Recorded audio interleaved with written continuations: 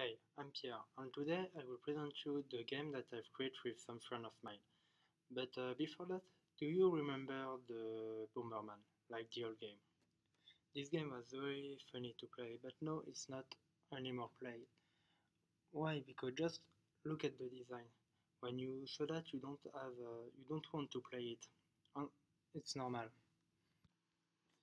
So that's why with my team, for the project, we choose to rework completely the Bomberman.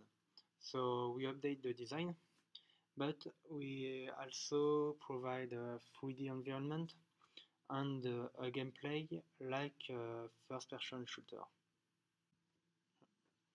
Additionally to that, we we have make a solo mode where you can play against an AI, and also an online mode where you can play against your friend.